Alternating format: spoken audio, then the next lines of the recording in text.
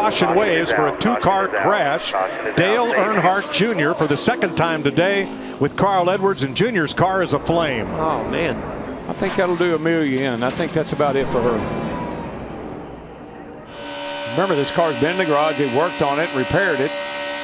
And Carl Edwards in the 19 had damage from the last caution. Oh, Oh, man. He had a, a tire go down or some kind Yeah, of a Carl had failure a right, there. yeah, right front. Looked like he had some damage on the right front from that wreck back there. I mean, You all right? Up the hill it went.